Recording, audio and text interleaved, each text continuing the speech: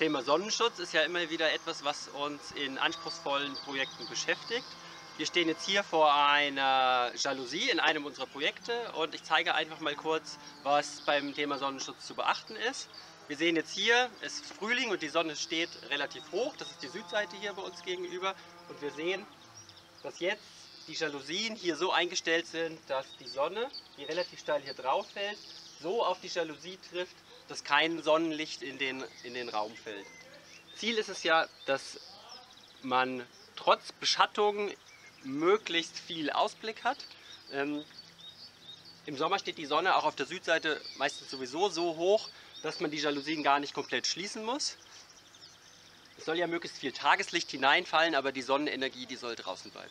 Die Wetterstation weiß also zu jedem Tag im Jahr, wo die Sonne gerade steht und wie hoch sie steht und weiß auch, wie die jeweilige Fassade von dem Haus ausgerichtet ist, sodass ähm, über das automatische Beschattungsprogramm die Lamellen auf der jeweiligen Fassade immer genau so eingestellt werden, ähm, dass, die, dass das Sonnenlicht an den Jalousien hängen bleibt und nicht in den Raum fällt ähm, und man maximalen Ausblick hat. Ich gehe jetzt mal hier eine Fassade weiter, das ist jetzt hier die Südseite.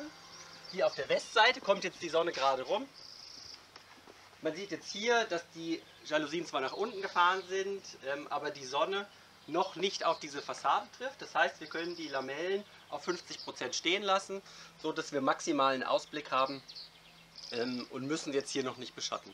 Jetzt wird es noch ein paar Minuten dauern, dann kommt die Sonne immer weiter, immer, immer weiter hier rum und wird auch diese Fassade erreichen. Die Wetterstation weiß also wieder, ah, wo steht die, genau die Sonne im Verhältnis zur Fassade und wird dann die Lamellen genau so weit schließen, dass auch hier das Licht, was jetzt mit relativ spitzem Winkel, ähm, dieser Winkel wird über die Frontalstrahlung ausgerechnet, ähm, also die Wetterstation weiß also, in welchem Winkel das Sonnenlicht hier auf diese Lamellen fallen wird und stellt die Jalousien dann genau in dem Winkel ein, dass das Sonnenlicht hier auch wieder zwischen zwei Jalousien abgefangen wird.